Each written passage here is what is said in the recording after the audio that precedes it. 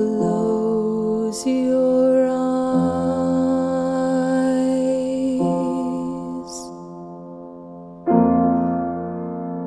Take a deep breath.